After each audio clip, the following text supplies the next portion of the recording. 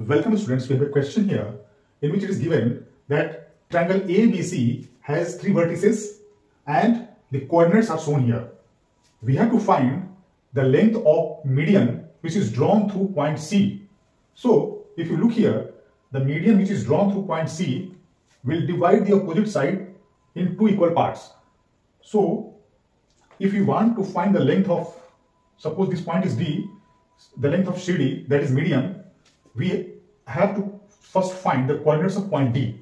Then we can use the distance formula to find the length.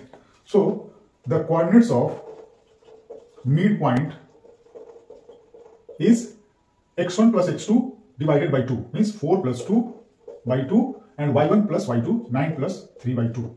So the coordinates will be 3 and 6. So we can write here 3 and 6. Now we can easily find the length of this median that will be difference of abscissa square plus difference of ordinate square. So if you look here, 6 minus 3 square plus 6 minus 5 square whole under root.